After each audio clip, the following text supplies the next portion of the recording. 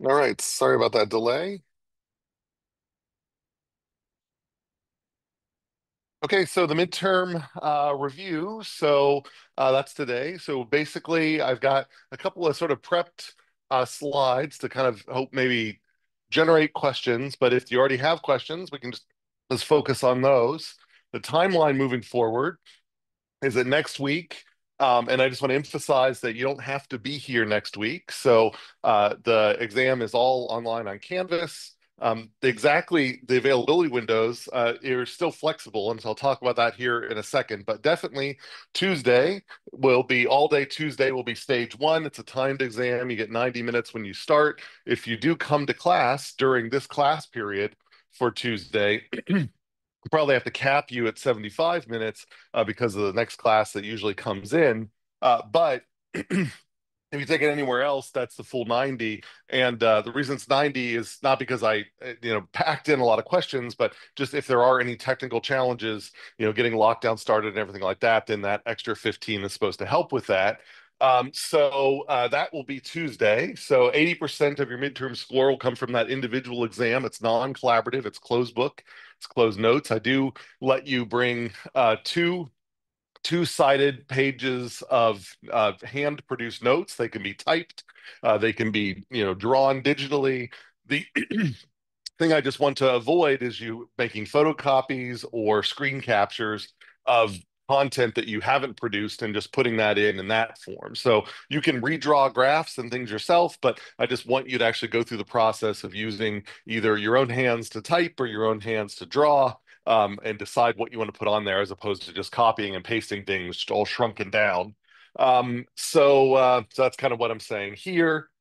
And then on Thursday, there's the exact same exam. You do not get your scores or solutions between the two days, but exact same exam, but you can collaborate with other students currently enrolled in the course. If you want to come here and work together during the class period, that's fine. If you don't, if you want to work elsewhere, if you want to work individually, um, it that is also fine. If you want to use Slack or Discord, that's fine, just so long as the only other people participating in that channel uh, are other students currently enrolled in this course. so that's kind of the structure here. Um, and uh, and so actually maybe let's just handle the availability here. So there's options for availability. So let me bring these up and then we'll do an iClicker just as a poll so I can see what the preferences are. So uh, see how this looks here. Okay, so um, so these are kind of the options. Uh, my preferred option, and I'll tell you why, um, is this option A. So basically what this would mean is you could get all of Monday and all of Tuesday to start your stage one. And whenever you start it, then you get 90 minutes, the clock would start. And then stage two, you could get all of Wednesday, Thursday, Friday, Saturday to submit your stage two. The reason I prefer that, and it's purely, I, I, I mean, I, for me, it actually doesn't matter too much. But the reason that I lean towards that is a lot of times I have students in the week before um, the fall break will make travel plans towards the end of that week, and and a lot of times those travel plans, uh, just due to you know, maybe there's a wedding happening or something like that, they might have to leave in the middle of Thursday. And so sometimes then I'll I'll get students ask about, you know, extra flexibility or whatever. And so I mean, there's always Friday and Saturday. There's plenty of time there, but a lot of people just like to get done. They you know have to feel like their exams are submitted and just out before any of that. So I don't know if anybody in here is like that, but there might be, even if you aren't that way, there might be someone else that way. So for me, given the fall break, this option A up here, where the you know stage two starts way over here on Wednesday, provides the most flexibility for those of you who might be traveling before the break. That is the only reason why I would um, recommend stage or this A. But the um, you know the uh, B is might be nice that maybe you don't want to take your stage one Monday or Tuesday. Maybe you'd like to you know wait a little. Bit. I don't know what your schedules are. So um, you know in that case you know, maybe it'd be nice to be able to start stage uh, uh, one on Wednesday. Um, now, the the what's going on in C and D is I basically dropped Monday out of the mix. Why is that there? Once I open the availability, I can't answer any content questions about the exam until the exam's complete. So, and that's just as if one of you takes it and says, I took it, I submitted it, and they might tell to somebody else, there's a really difficult problem about hand simulation or something like that. Um, you might want to, you know, look up on, you know, this topic or whatever. Well, if somebody then comes to me and asks me about a question about that, I might not realize that they're asking me about something that is specific to the exam and I won't know, you know, and so rather than putting me in that awkward situation of trying to figure out if I'm accidentally giving an answer to the exam, I just say I can I can answer administrative questions when the exam is open, but I can't answer any content questions. So for those of you who think that you might have questions over the weekend and you want to have Monday available to reach out to me um, to to ask for those questions, then um, it might be a good idea to go with one of these options. But um, but again, I prefer A because uh, you know, I actually usually rarely get a whole lot of contact before the exam, um, and uh, and A provides the most flexibility for kind of everybody there. So those are sort of the four options. I'm going to put up a little iClicker where I just want to poll you on this to see sort of where the class is. It's not binding or anything. I'm just kind of seeing what your preferences are. Are there any questions about these options for the availability? Let me pull up then multiple choice.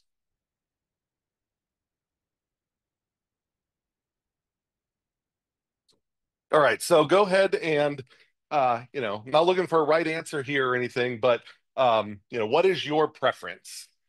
A, B, C, or D? So go ahead and put that in. Again, it's not binding. I'm just kind of looking to see where the class sits. And uh, right now, I think I just have it set uh, if you were to look at it, I think it's currently configured in the B option. Um, but so, you know, again, my preference is A and I could switch it back to A, but if everybody picks B, then I might leave it in the B. But, um, yeah. Yep.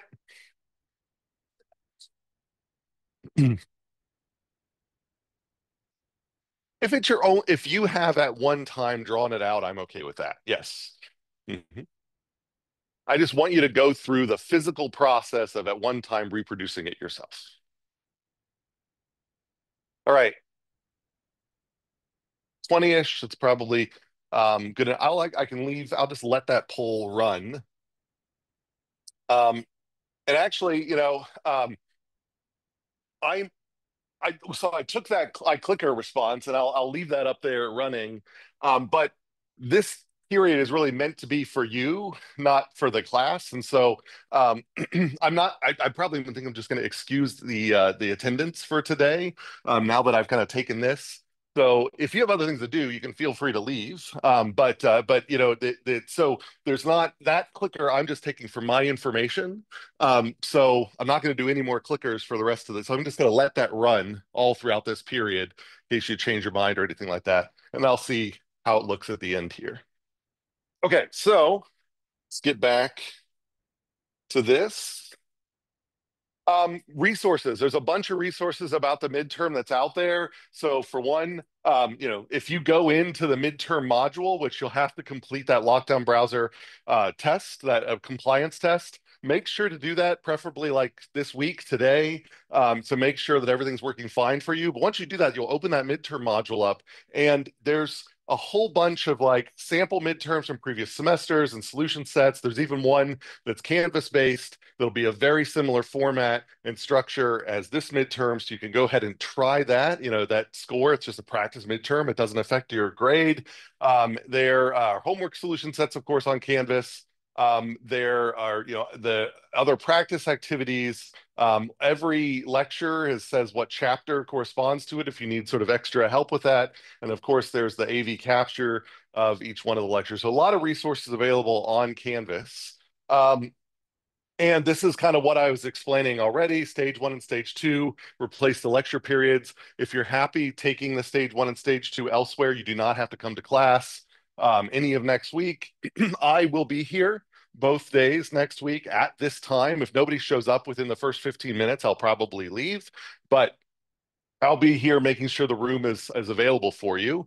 Uh, you don't need to put any statistical tables on your formula sheets. I provide, you know, chi-squared, uh, normal, et cetera, um, KS test, all of that stuff will be provided at the top of the exam so that you have that available for you.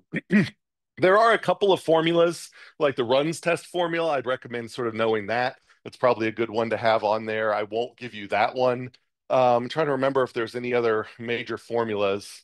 If some's come to mind, I'll, I'll point it out. But that's kind of the big one that I, I, I, it's a little weird. Like it's a weird formula that I don't have memorized. Whenever I need it, I look it up. Um, but it's one of these formulas that if I give you, I kind of give away a lot of how to do the runs test. So I, I kind of want to make sure you know to that you need it. So I can't just provide you like random formulas and have it in the mix. So that, that's like one of the ones where I'd say I'd recommend writing that one down. But generally speaking, like, like for example, the formulas for the probability density functions for the uh, different uh, probability distributions, you don't need to know those. If you need those, I'll give you to them. I would know their shapes though, their general shapes and what the parameters do to those shapes. So as you increase K, um, you know, it makes it more hump shaped. As you decrease uh, K, it makes it more kind of ski slope, um, those sorts of things. um, they're you know the format of the exam they're going to it's canvas style or scantron style. I mentioned that just because a lot of the previous ones were scantron style. So um, you know it's that they're auto graded there's no sort of essay questions. There might be some numerical questions. Um, so for example i could have you uh, generate a cumulative distribution function and then ask you to evaluate it at a particular point. So what is capital F of 4.2. And uh, then you have to plug that into the expression you got, and then that's the answer that you have to fill in. So that's an example of how I could test you for like those CDFs. Um, I do sometimes try to make things a little more exciting. So, um, you know, like it, it, it, like select all questions I think are are interesting, but I try to use any questions I use on Canvas to the extent that Canvas allows, I try to provide partial credit. That said, um, as I every question here will be uh, one point. Um, and so that means that even questions, questions that simply ask you to sort of recite a definition will be the same point as a question that asks you to, uh, here's a probability density function, calculate the CDF and evaluate that number. That will also be one point. Because it never made sense to me that like, if it's a really long question, I guess you'd need a little bit of credit for it, but like when you go to an engineering job interview, like if you don't know the basic definitions, that's often more damning than not being able to do the little like technical homework problems that sometimes that the recruiters like you to do. So it never quite made sense to me why we'd like charge you 10 points for uh, a, a, calculus problem, but only one point for like a fundamental that if you didn't know, like you couldn't, it wouldn't, it'd be like it's a shibboleth for being an engineer. Like you couldn't pass muster. No one would like know like that. Like it's like, what, why are you even here if you don't know that term? So like to me, it seems, you know, like those are the things that are, so that's why you're going to see that like, like you're like, Ted, I, I spent, you know, five minutes on this problem, but 20 seconds on this one. Like, why are they, the same amount. Well, it's probably that this one you spent five minutes on is actually like nobody's ever going to ask you to do that after this class. So why would I charge you, you know, you know, 20 points if you got that wrong? So th that's the reason why there's this like balance. Um, and then of course the exams were 20% of your course grade, but that's split 80%, uh, 20% across the individual and the group. And that lockdown browser test that actually eats away at a little bit of the individual. So you do that lockdown browser test, you already get like 0.25% free of your whole final course grade. And then the next compliance test you'll take at the final exam will be another 0.25%. So that's how things are, are, are uh, set out that way the, my basic kind of idea when I build the exam, and I'm still tweaking it a little bit, but um, uh, most of the questions are set. Um, I just did a couple little things this morning too, but uh, but basically it's uh, I you know I, I try to get you know 10 to 13 most of the questions are these kind of multiple choice kind of conceptual questions. A couple of numerical questions like um, you know doing a hand simulation and then so i might give you a hand simulation table and there'll be a couple of spots that are empty and i'd be like what is the number that should be here in the hand simulation table? So then you have to kind of go through the hand simulation and figure out what that number is um, generating a sequence of pseudorandom numbers so you know doing your lcg uh, statistical test of uniformity, I give you 20 numbers and ask, are they uniform? Are they independent? Um, you know, so uh, collectively, you know, maybe two to three problems, like one of each of these, and then a design problem. So, um, you know, there might be one question about going from PDF to CDF, another question uh, going from CDF to quantile functions, CDF to inverse CDF, and both of them might have you do a little math and then evaluate them at a number. So that's kind of the idea here. So most of the stuff is going to be up here, but then there's going to be some down here, but every problem will be one point. So roughly, uh, let's say, I think it's, you know, 35 questions or so, 35 to 38 maybe, or 40. So something in that ballpark. But I'll just tell you, so you're not surprised by this, the first three questions that you get credit for are making sure you've done the lockdown browser stuff. Like, it, well, I, I asked you, the first question is like, did you show your ID? If you didn't, show your ID to the camera right now. And then you say, yes, I show my ID, one point.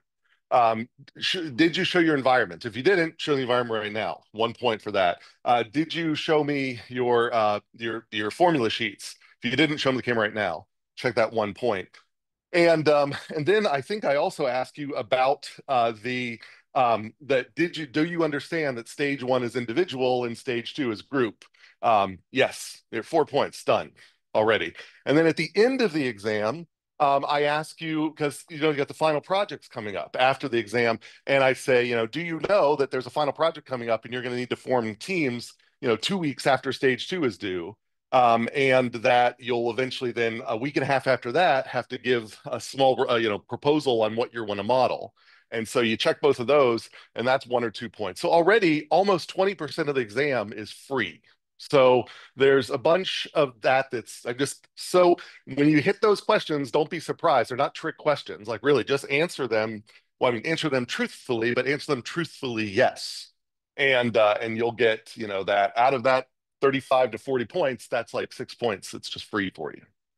So, um, so that's the basic structure. Um, any questions about the, the general format, structure, how things operate? Okay.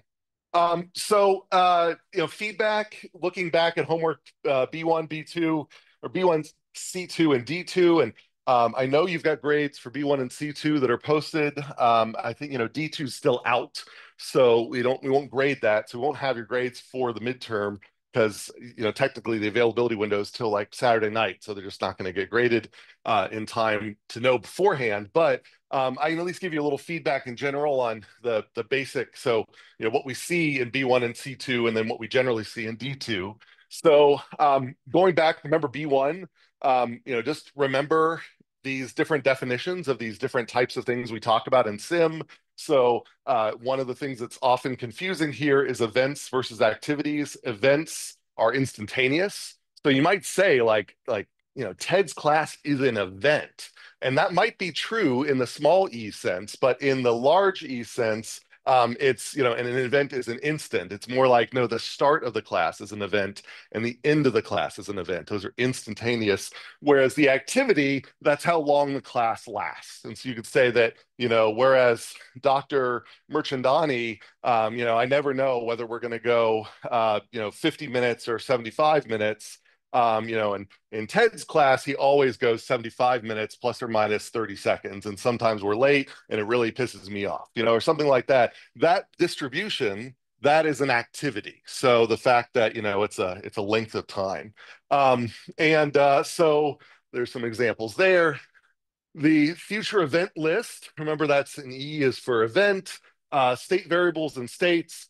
Um, you know, this is just a, a, standard dynamical system modeling confusion thing that people often confuse these two terms. Um, states go into state variables. So the state variable is the number of customers, but the actual state of the system is two. Like that's a, you know, there are currently two customers in the system. That's the system state. Where do we keep track of the state in the number of customers variable? So that's kind of an example of that. And um, state variables change at events. So the whenever a state variable changes, there had to be an event at that instant. That is a feature of discrete event system simulation. So if I were to ask you um, something about, you know, what is the time instant where a state variable would change, what you're looking for there is event. So that's kind of um, some of the, some of the homework one uh, the first part. Then in the second button, you know, execute a DES by hand. Definitely know, re recall how to do this. So practice this. I guarantee you, there will be a question on the exam where you're going to have to know how to execute a discrete event system simulation by hand in order to get the right answer.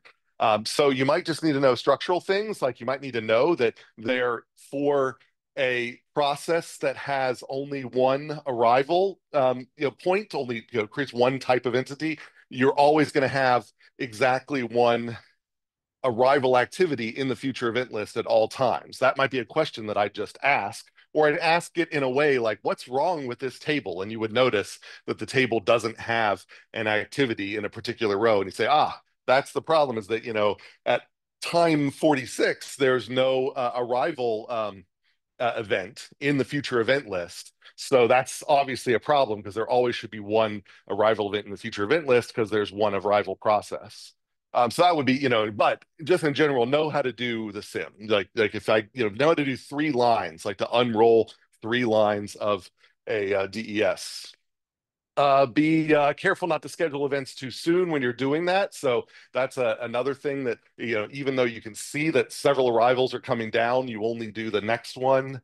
Uh, departure event is only scheduled the instant that the service has started. So even though you can see that you know when things are going to depart, you can't actually add it to the FEL until that service has started. Um, so that's another common issue. Um, so, um, you know, the schedule activities and not events. So uh, an activity arrives at an instant will last in a particular time. So um, the so the idea here is that uh, you know we get this kind of goes back to what I was saying about the the whenever service starts, that's when you schedule the end of it. So uh, it's just you only schedule one activity at a time. So you wait for the activity to start the event that triggers the activity, and then you draw that activity number, and then you just schedule the single ending event at a time. Um, so that's homework B1's like major feedback. Those are sort of the issues that we see. So any questions about hand simulation? Now, when I get through this, this review is just, you know, basically going back through the highlight slides. And so um, if there are no questions and people still want to hang around, then I can go back through here and say, oh, and reminder, you know, this is what we did in the, the first couple lectures, we did the next couple lectures. So this isn't the only material I've got here to kind of jog your memory, but I just wanted to go through the homework feedback first. So based on that one, and this could be questions about something else that that's jogged. Any questions at this point? That I can help with. Yep.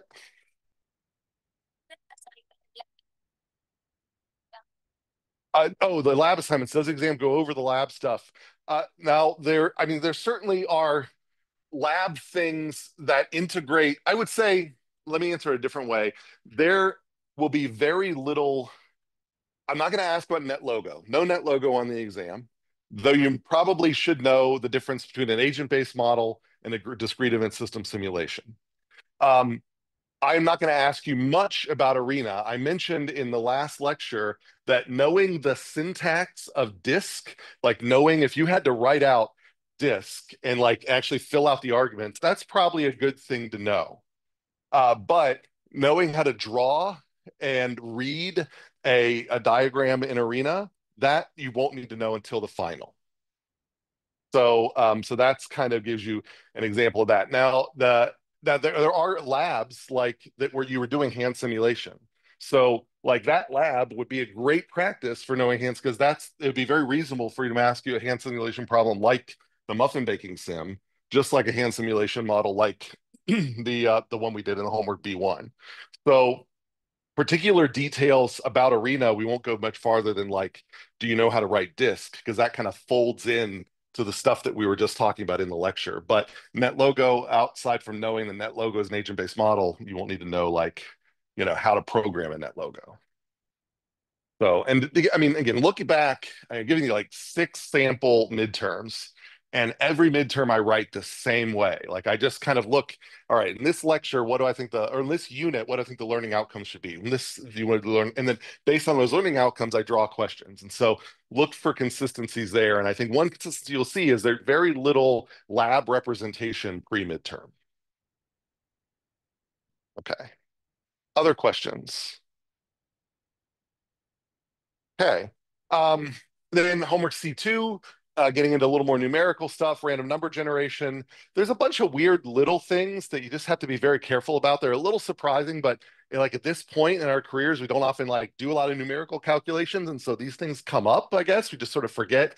Um, and I'll get to that here in a second. But um, you know, so uh, you know, the uh, remember that the term random numbers uh, that specifically means drawn from a uniform distribution that is spread between zero and one. So the term random number that is in this class means is very, very specific. That means it is a number between zero and one drawn uniformly but in that interval. No, we're not, it's not a generic random number. There's no such thing as an exponential random number.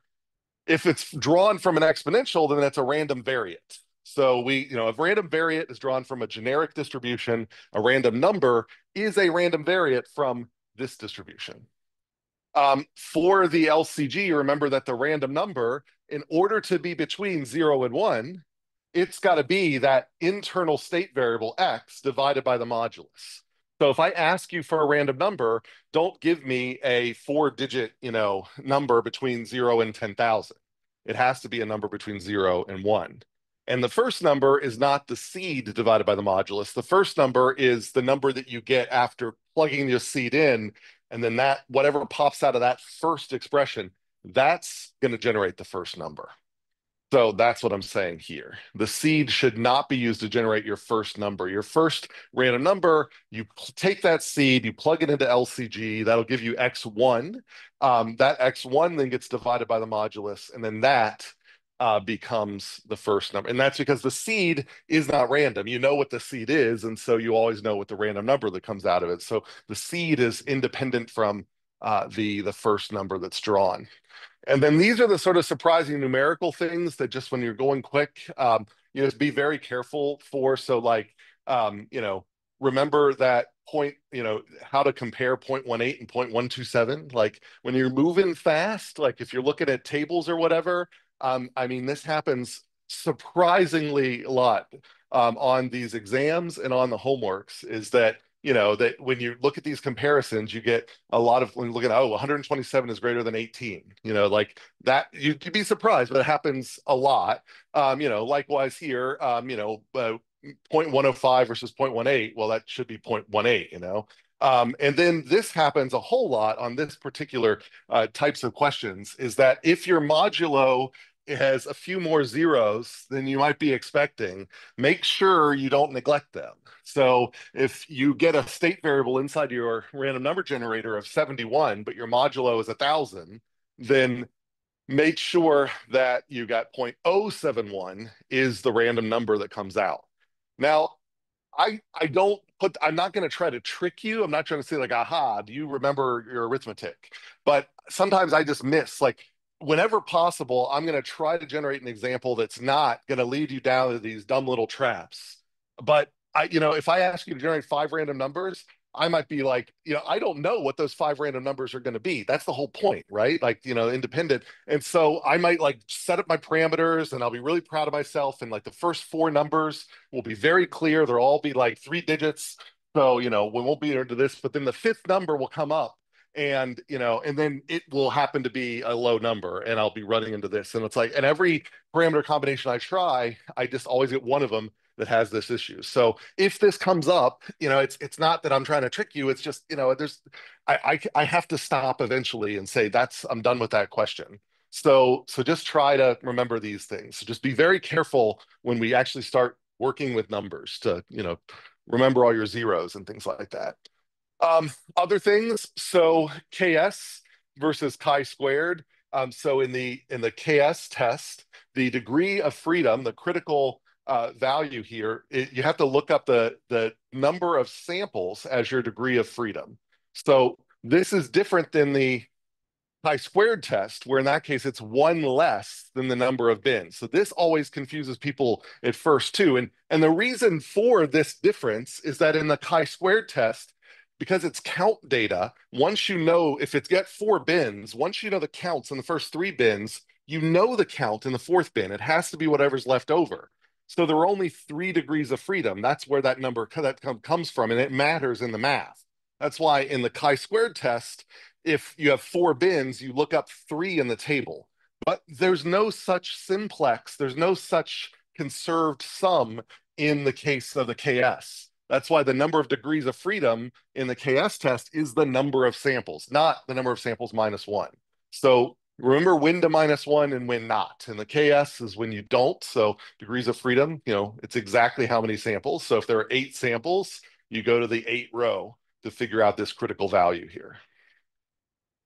Um, questions about this?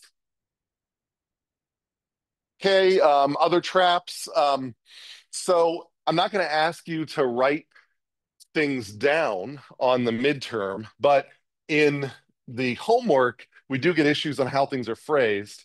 And because these issues matter, I might ask you questions that sort of like what, you know, I might give you like several assertions that you should choose from.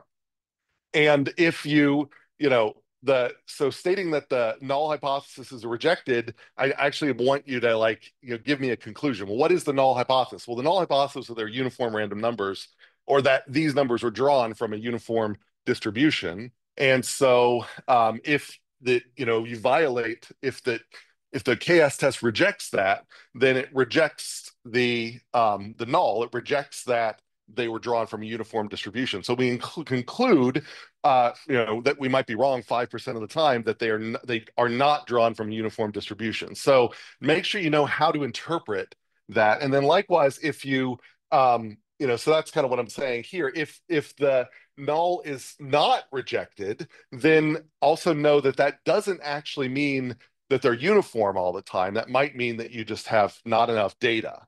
So, you know, if I flip a coin once and it comes up heads, that's not enough data for me to know if that's a fair coin. And that's fairness as uniformity. If I flip a coin twice and it comes up heads, heads, that's not enough for me to know if it's a fair coin. I just don't have enough data. It will be that I won't reject the null of uniformity, but that doesn't mean it's actually uniform because it came up heads heads. Like, you know, if it was non-uniform, if it was unfair, it would always come up heads. But with two, I can't. So know that just because it's not rejected, we can't say these are uniform. The best we could say is that we failed to uh, reject, you know, with these data, we failed to reject uniformity, you know, something like that. So that's kind of all I'm saying here. And then, um, so, and this is kind of all I'm kind of saying about this. And then, um, is this a good pseudo-random number generator? So what I'm saying is, remember, the properties of a pseudo-random number generator are independence and uniformity. So if, you know, being able to connect, like I could ask you, here's a bunch of numbers, um, do a KS test. And then after you do the KS test, I could ask, is this, does this appear to be from a good random number generator? And if the KS test rejected uniformity, you would have to say no, because these numbers are non-uniform. And I might not put all those pieces together for you. I'd be looking for you to put that together. Like, here's a KS test. Based on that, is it a good random number generator? And then there's like, you know, that little bit that you have to put together.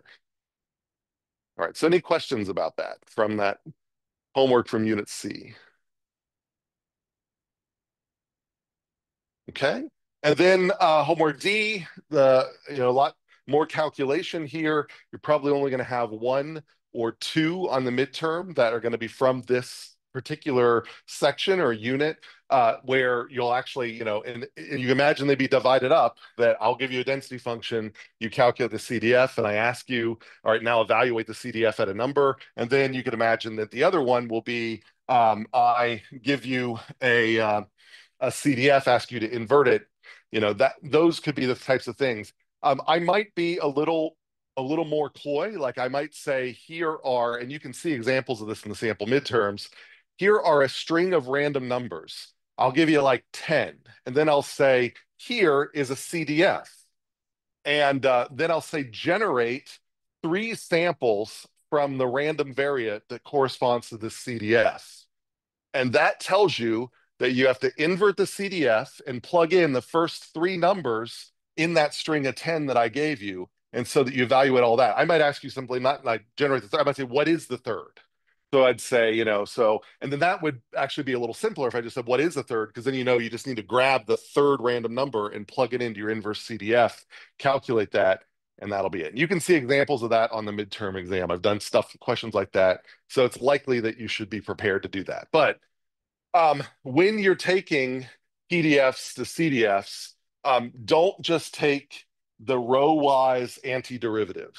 So it's really tempting to say, this is my PDF. He asked for the CDF.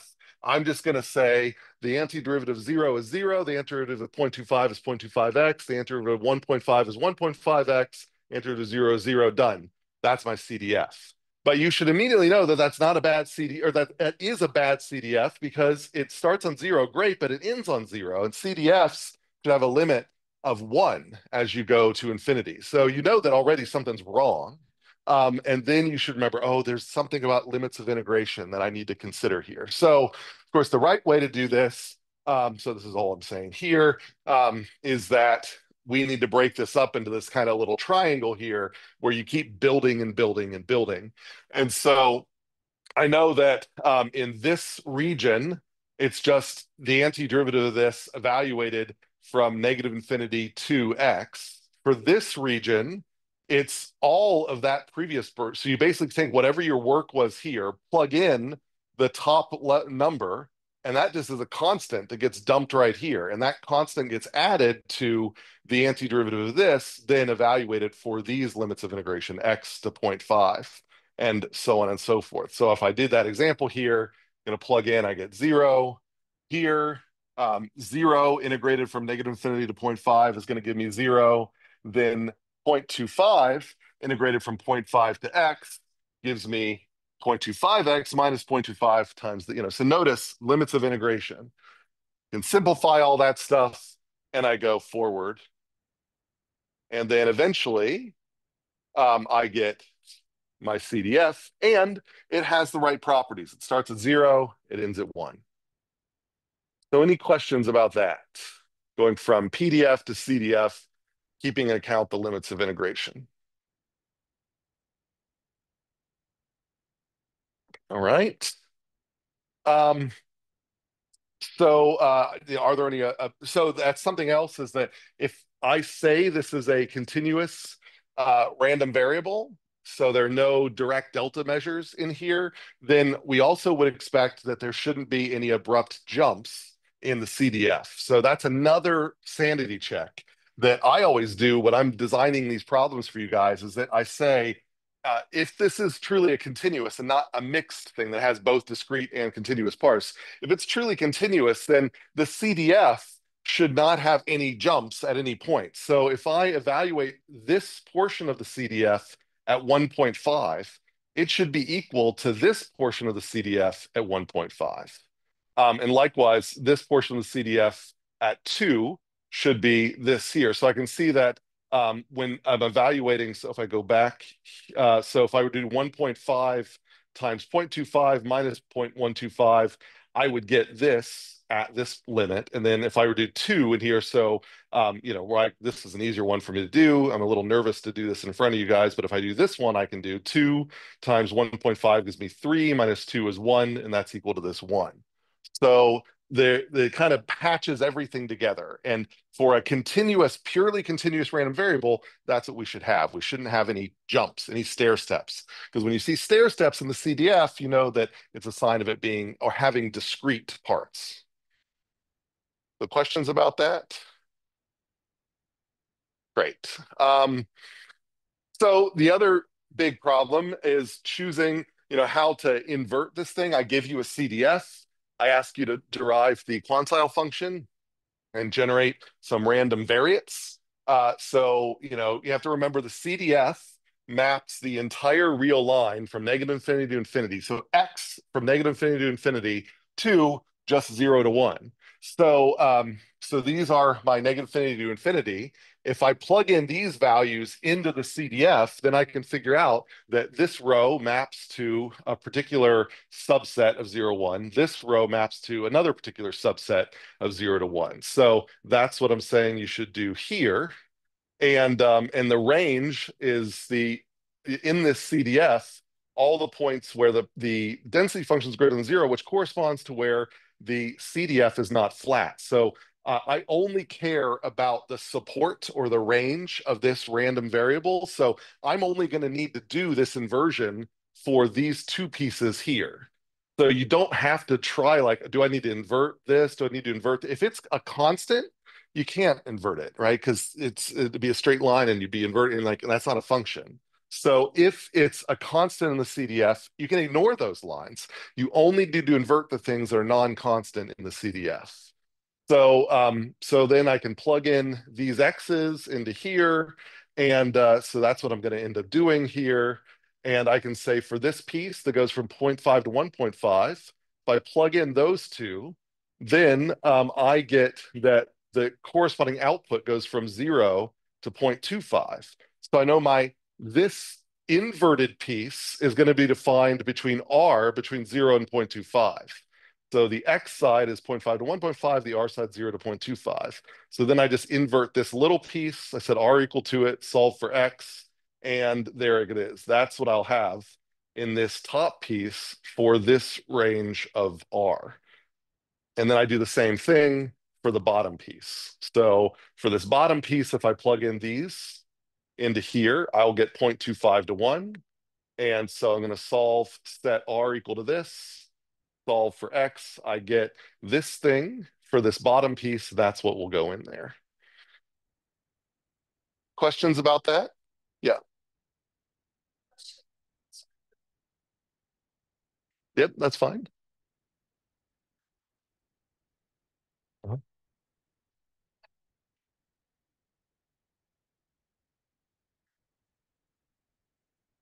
Um, in this class where we have pure discrete random variables and pure continuous random variables, if you're dealing with a continuous random variable, it's got a density function and you've integrated, you shouldn't have any jumps. In later classes or other classes, you mix the two where random variates can be both smooth and have jumps. That's a type of uh, variable that is more advanced. And so these are sort of the training wheels here. And so no jumps. If there are jumps, there's a problem. All right, so sanity check. Um, so what I do when I do these problems, when I design them for you guys, is I do these sanity checks. The great thing for you guys to do too, um, it should be, since these are inverses of each other, that if you pick a number at it, like if I pick zero, if I pick zero, that's uh, zero is not in my, so if I pick one, um, then I could say, well, if I plug in a one, that goes into here. Uh, 0.25 times 1 minus 0.125, that'll give me 0.125 out. So then I should be able to then go into here and say, where's 0.125? Well, 0.125 is in here. Well, 0.125 plus 0.125, that's uh, 0.25 times 4, that's 1. Oh, that's what I started with. So that back and forth, that's a good sanity check. So if you do that in all your ranges, so you plug in a number, you get a number, you plug that number in here, you get the original number back. That's a good sign you did your inversion correctly. Um, so that's kind of what I'm saying here. All right, um, and then uh, the squares. I love the squares because it's just just because it's a I mean, in real life, do you get the squares? You actually do quite a bit, but it's but I I we pick on it in this class because it is just such a common problem. Um, so when you have a non-invertible function, so here's a CDF that has a bowl in it, it has a quadratic in it.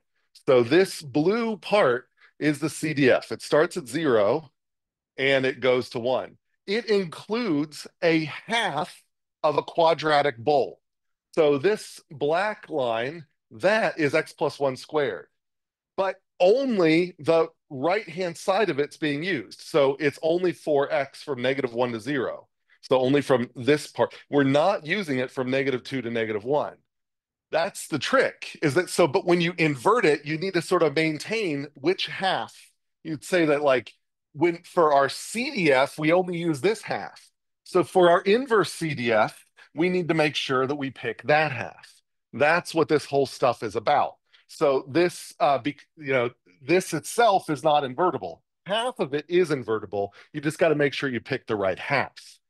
So, um, so that's kind of what we do here. Is we say for this middle portion, we set r equal to it. We solve for x. Now we have this dilemma of do I want the plus square root of r or the minus square root of r? Well, if you go back here, you have to remember that for that I want negative x's. So my uh, my range of this random variable is all negative. There are no values of this random variable that are positive. And for this section in particular, all of these values are negative. So that tells me for these values of r, I want negative values of x.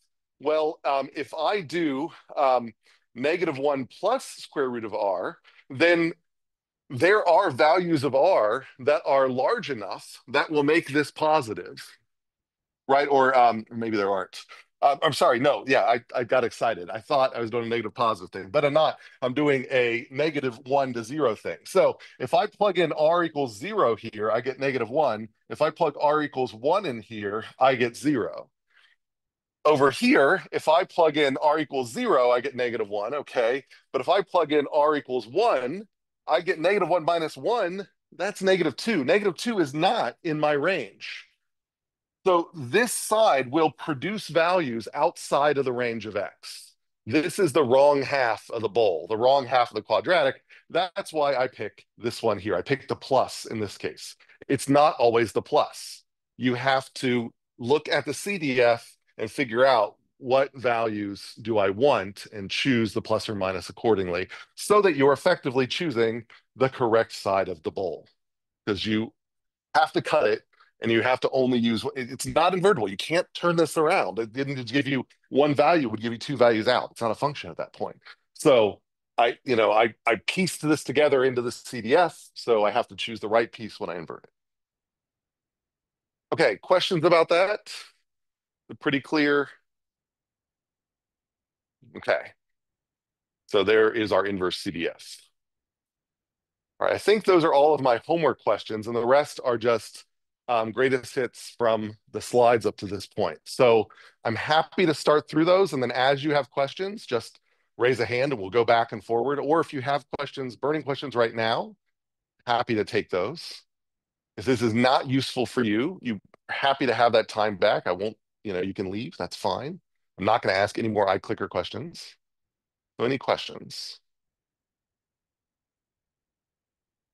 Okay, so um, for those willing to stay, um, you know, this other things that uh, are, you know, I, I'm going to start from scratch when I make these questions. So do expect concept questions about models. What is a model? The what if questions. So models are things that help us answer what if questions. All models are wrong, but some are useful. Our goal isn't to make them perfect. It's to make them illuminating and useful. Um, so um, of the types of models, you know, we've got you know, these are dynamic models because they describe things that move over time. Uh, they're stochastic models. What is the random, you know, this is sort of a pet peeve of mine that random and stochastic are not synonyms. You use one to define the other. A stochastic model is a model that uses randomness in lieu of something else, in lieu of a more detailed model. So a stochastic model is a random model, but it's not like they're not synonyms. You can't just say that, you know, when people, it's very loose to say there is stochasticity in the world. That means my model of the world is one in which I assume that everything's random. But in reality, there is a perfectly deterministic explanation for every outcome of the world, um, at, at least until you get down to like the level of an atom. So, um, so we don't actually view the world as being random, but the only way we can realistically model it practically in computers and our heads on paper is if we assume it's random. And that's why stochastic comes from the Greek for guess or conjecture. So stochastic is not a synonym for random. Stochastic is the use of randomness to make models simpler. Uh, so why use computational models? You know, there's, uh, we talked about reasons for that what are the strengths and weaknesses? So mental models have strengths and weaknesses. Um, analytical models have strengths and weaknesses. Computational models, strengths and weaknesses. What are the different types? So uh, agent-based models versus discrete event system simulation models. Um, uh, versus um, uh, um, uh, system dynamics models won't get a whole lot on this, but just, you know, it's good to know, like, because we're using one of those modeling types to position it among the others. Of that, you know, uh, the we've already kind of talked about this, but the definitions of these things, the definitions of these things, being able to do a hand simulation. So um, actually, you know, now that you're opening up Arena, uh, you may have noticed that Arena has these little um, these are kind of getting like archaic, these symbols, what they, but you know, that's got this sort of skip here where you in Arena, you can actually have it go one through these. So, um, so just like we have you do the hand simulation time by time, right now in your classes or in the labs, you've just been hitting play on the early arena models you've been building. But you actually, instead of hitting play, you can hit the step button and then you can actually watch it go from event to event to event to event. And that's the same thing that you're doing by hand when I give you these tables. So know how to build these tables. So that means like I could give you this and being able to then reconstruct that timeline um, and you know and figure out and know like okay these activities these service activities how they fall into play um, know that delays are generated by misaligned activities like we see here. So those are all our delays. Um, the delays we have to run the sim to see whereas the activities we know in a table ahead of time. That's the you know that's why these are the inputs and these are the outputs. Um, activity we know ahead of time. That's why it's an unconditional wait versus a delay. We don't know ahead of time. That's why it's a conditional wait. We manage them with state variables and uh, lists and things like that. Um, so yeah, that's those are our DES fundamentals. So basically, that's you know before the midterm, it was like what is a model and what is DES modeling, and then review of probability, and then how do we generate numbers and variance. Those are the three things we've done. So questions on the modeling basics? Any confusion about the terms? Okay. Um, so probability and common distributions. So uh, the uh, you know this term input modeling is good to know. This idea that the distributions we pick are the actual inputs to our systems. The entities aren't the inputs. The entities are just water flowing through the fountain, but the shape of the fountain, that's kind of what we're evaluating. Um, and how fast the water flows. So it's kind of like the shape of the fountain or the diagram in arena and how fast the water flows over it um, like by the pump, like the pump schedule, that's sort of like the input distributions. So it's not actually the water itself because those entities just get recycled over and over again. And so um, our choice of probabilistic models that goes into our simulation models, that's input modeling. Um, these are the probabilistic models I'd like you to know. You don't have to memorize the formulas to them, but you should know that if I ask you, uh, if I need an input model for an additive process, that is unbounded in either direction, that it's practically unbounded. Like I, I give you the, um, and it's an additive process where I can say the mean is this, standard deviation is this, and a standard deviation is so much smaller than the mean that I basically can, um, can I don't have to worry, like it's practically unbounded. It basically goes in either direction. You should think, well, it's additive and he gave me mean and variance, then a normal, uh, without any other information, I should choose a normal.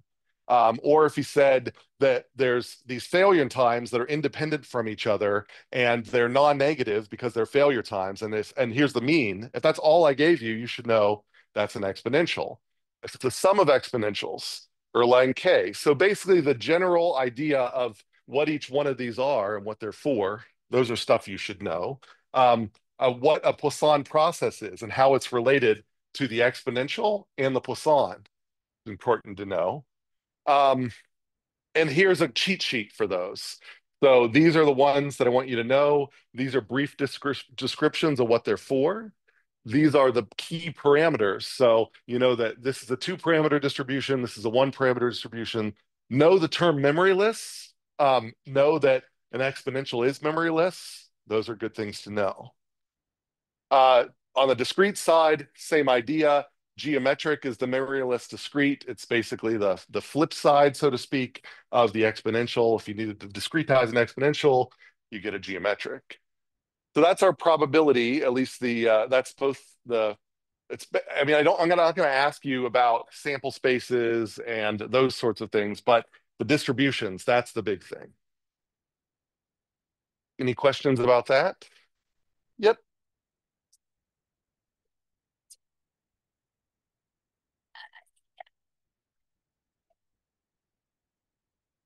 Yeah, I might give you a description of a of a type of thing that you would then ask, like, what type of variable would you use for this description?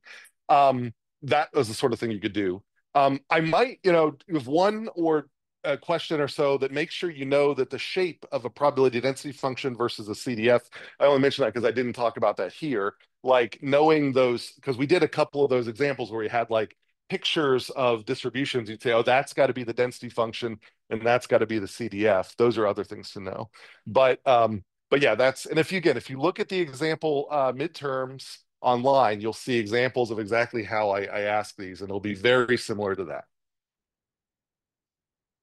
Okay, and then the last then, we've already sort of beat uh, uh, this to, you know, maybe the death already today, but, um, you know, I just want to point out, I want you to know to be able to do a simple chi-squared test for uniformity and a KS test for uniformity, you should know the term autocorrelation, but the test is be able to do this runs above and below the mean test. And if you need this test, I will give you the mean. So you're not going to have to calculate the mean of 30 numbers. So if I don't give you the mean, then maybe your head thought I was asking for independence, but in reality, I was asking for uniformity. And go back and reread the question, and it might tell you that you should be using a chi-squared. And then likewise for random variate generation, um, you know, we already kind of talked about this, know how to go from PDF to CDF, know how to invert the CDF, and know how to then use random numbers with that inverse CDF to generate random variants. Um, you know, the the big thing, if I ask you what are the required features of a, PRNG, uniformity and independence. These other things are desired. It's good to maybe know about them. It's particularly good to know about this seed, like why we what the seed is for, what it allows us to do. Um, but the, if I ask you what's the most important thing, you know, it, you shouldn't say it's fast or it has a long cycle. I mean, those are really important, but the most important is uniformity and independence. Um, know how to do the LCG, uh, so know how to generate. If I give you a seed and these parameters, know how to generate these numbers. Or if I do it in kind of a, a cagey way where I might like give you the seed, the increment, the modulus, and I might say, if the first random number of random number is 0.02, then what must be the multiplier? You know, it's kind of this like a backwards way of doing that, just making sure you know the formula and how to use it. Um, then, uh, so yeah, so I just talked about this for uh, uniformity independence, the tests.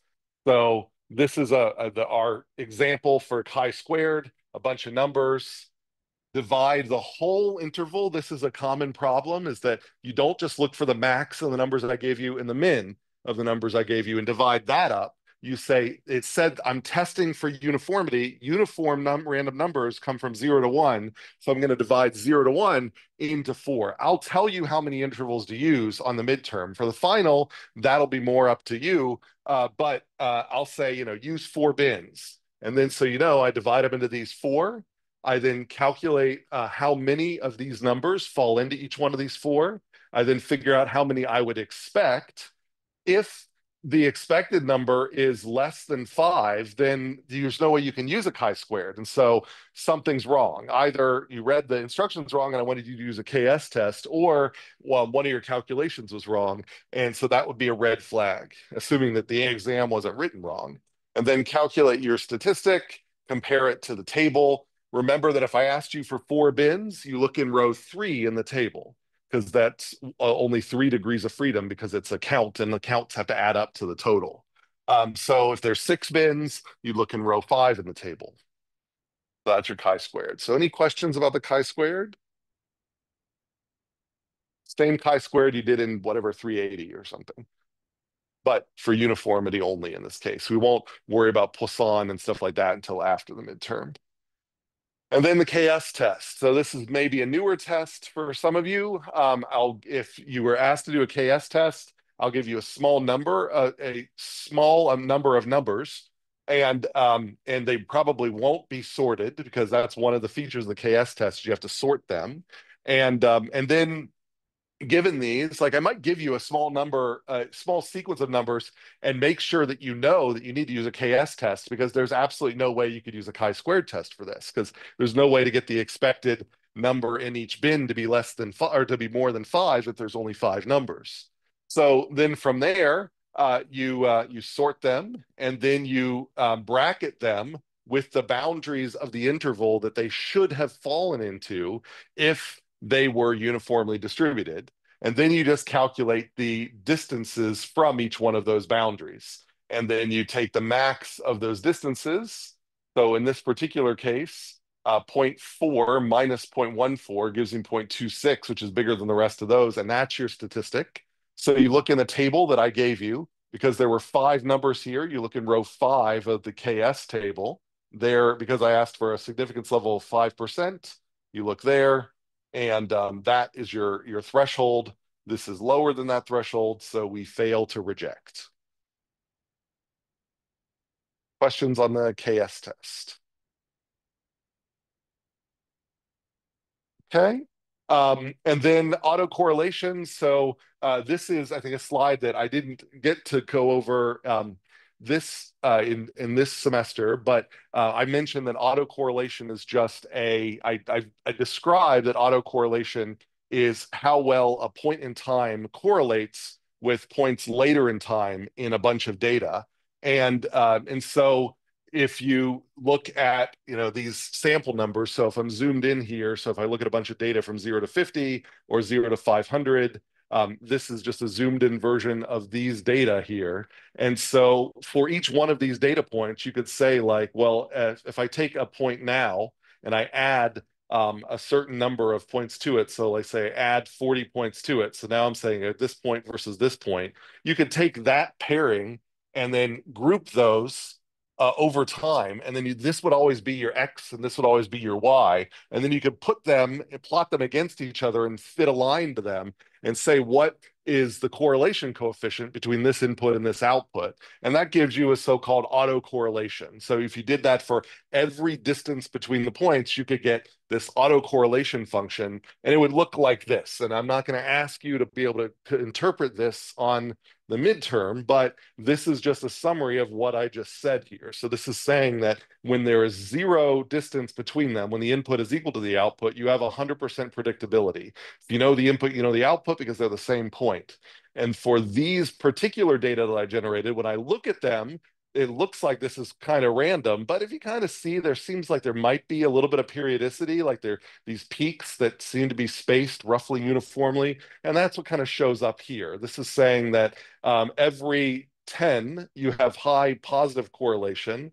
Every five, you have high negative correlation. So this is saying that if I know a point now, um, 10 samples later, I have a, a pretty good idea of that it's also going to be a positive point and at 10 samples later. But five samples later, it will be an opposite sign. But the immediate, you know, after only three or four samples, I have a lot less predictability. So that's how you read this sort of thing. And that's what we're looking for. How predictable is it? So the, the least predictable signal, so-called white noise, the autocorrelation is 100% here and 0% everywhere else. That's and, and that's that you know that means that uh, every frequency is in there. That's why it's called white noise. So there's no predictability left. Um, and um, so the you know th being able to interpret this is not that important, but knowing the term autocorrelation is a measure of how predictable a time series is later based on knowing what it is now. That's what I want you to know, that term, autocorrelation. But what we're going to do when we do a test for independence is the runs above and below the mean test. And so I give you 30 numbers. You would normally have to calculate the mean of those 30 numbers. I will give you the mean because I'm not going to have you bother with doing this long calculation. And um, and then for every number, you replace it with a zero if it's below its mean, or a one if it's above. So you turn that sequence into this sequence. So it basically turns them into coin flips.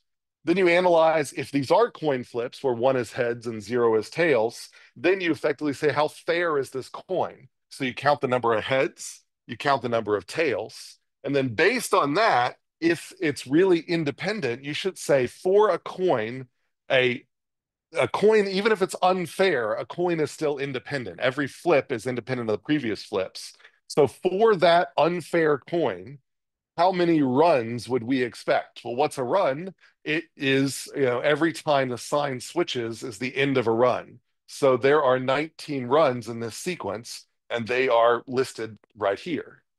So if I know there are 19 runs in the sequence, I'm just going to calculate a z-score that is going to tell me is 19 within the number of runs I'd expect from an unfair coin with this ratio of heads to tails. And in order for me to do that, I lean on these formulas. These are good formulas for you to know or to write down to bring with you. I'm not going to give you these formulas, but they're pretty ugly to memorize. So that's why I'd recommend writing them down.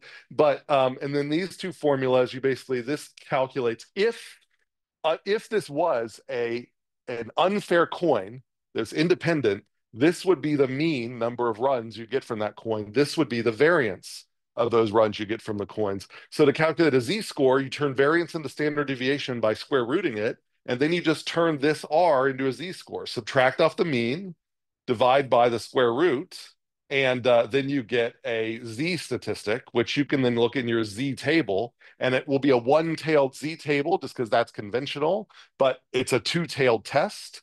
So I'm going to ask you for a 5% significance level. So you'll look in the 0.2.025 or the 2.5% row. That will give you your threshold. It'll be 1.96.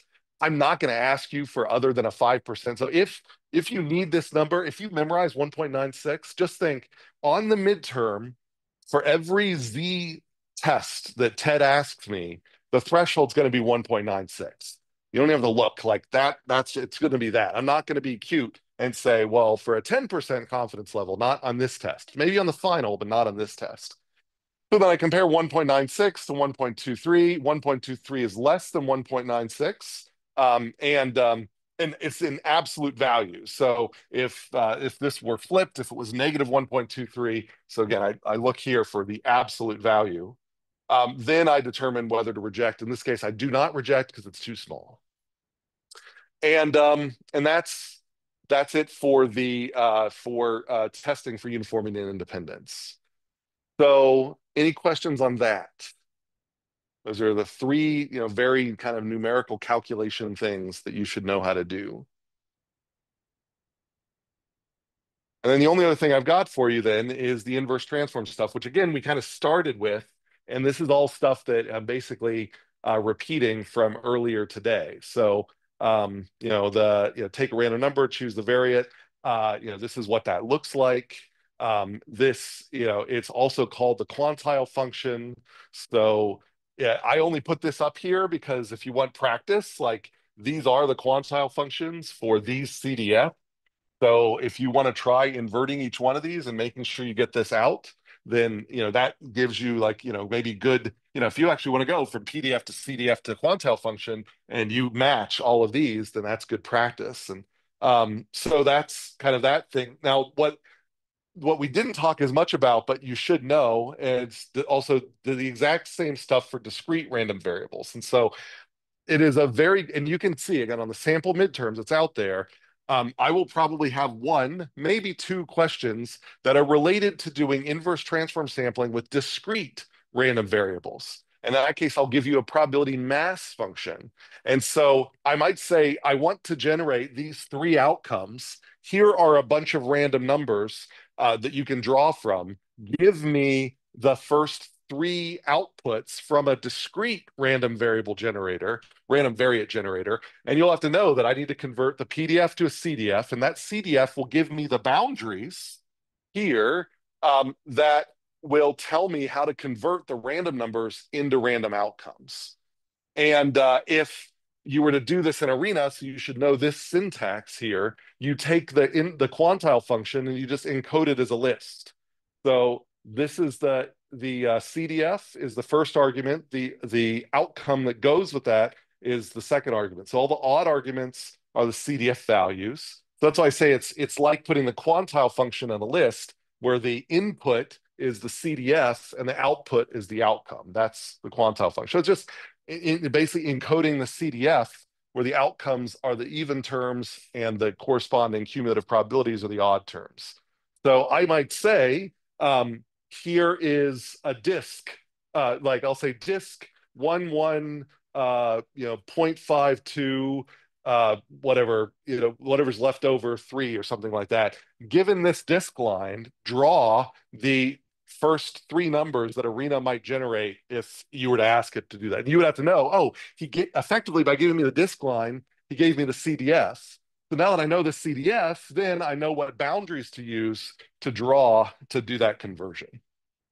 And um, and that's basically um, and that's basically it. So um, all right, so any questions? We're at the end of the review slides. If anything does come up, feel free to reach out, you know, Slack, DM, email. Um, uh, I have a pretty full schedule Friday, so I might not be able to get you during the day, but should be able to get to you um, in the evening, um, definitely uh, on Saturday. Um, oh, yeah, I guess so.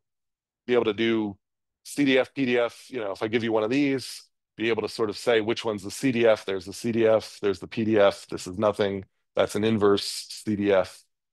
Um, yeah, I think that that's it right there. That's it. Now we're done. Sorry, so if I don't hear from you, good luck. Um, I will send out an announcement to say exactly what the availability windows will be, whether it'll open on Monday. Um, if you have any questions about the timing, again, please feel free to email. And that's all I've got for you. So have a nice weekend. Good luck.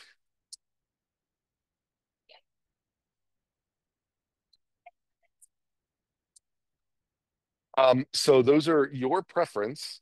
So where I was saying that um, I'm either going to open the stage one. Um, so that's uh, those are the options here. So I can open the stage one to make it available Monday, Tuesday, and then stage two, Wednesday, Thursday, Friday, Saturday. That's option A. That's the option that I would prefer because it gives students who are traveling at the end of the week the most flexibility. Um, the other option, though, is for it to be open Monday, Tuesday, Wednesday for stage one, and then Thursday, Friday, Saturday for stage two. And then the other two options are identical to the first two, but I just dropped Monday. And so the reason I do that is like if you think you want to ask me content questions on Monday, the exam can't be open. So once the exam's open, then I can't be available for content questions. So you just choose your preference and then I'll use that poll to figure out um, to make my decision about how to set the availability.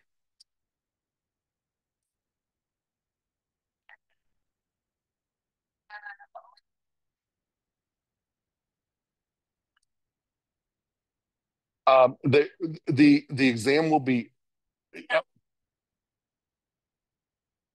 well. It, it it's well the way it works is that for stage, um, it you can take it anytime in that availability window anytime. Like you don't have to come to here. You could just monday at, at 9 43 a.m you could start it but then it starts the clock so that you've got 90 minutes after you start it to complete the exam. Well that's the that's the options here as i'm saying it'll like the monday tuesday wednesday that would mean that you can start at any time monday tuesday wednesday i don't care when as long as you finish it before the end of wednesday. Mm -hmm. Uh, sure. Let me um, just stop here.